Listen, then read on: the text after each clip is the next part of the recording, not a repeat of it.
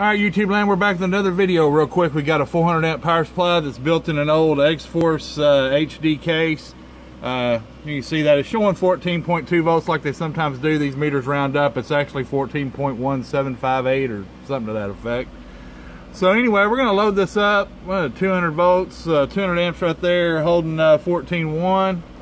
We're going to take it up to about uh, 450, holding 14.1 right there.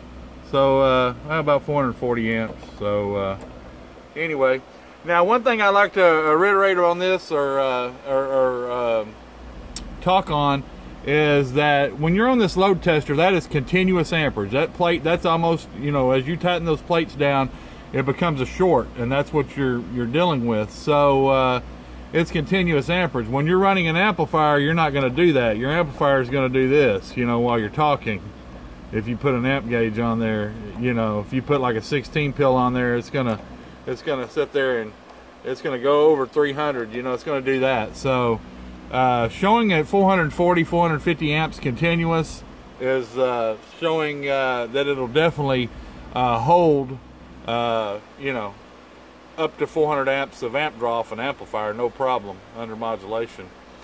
Uh, and it'll hold uh, 400 amps of uh, dead carrier you know if you can do that. Uh, uh, I wouldn't recommend doing that very long but but it will do it. So anyway that concludes this. I got to get back on the bench. Uh, like I say we're trying to get all this knocked out and knocked down and we're down to two power supplies a, a 400 amp and a 1000 amp and we're down to about five amplifiers and we'll be completely caught up with a clean slate. So we're really excited about that. So we're going to get out of here. Y'all be safe, be careful, and be kind. I got to get the screws in this thing and uh, get it ready to go.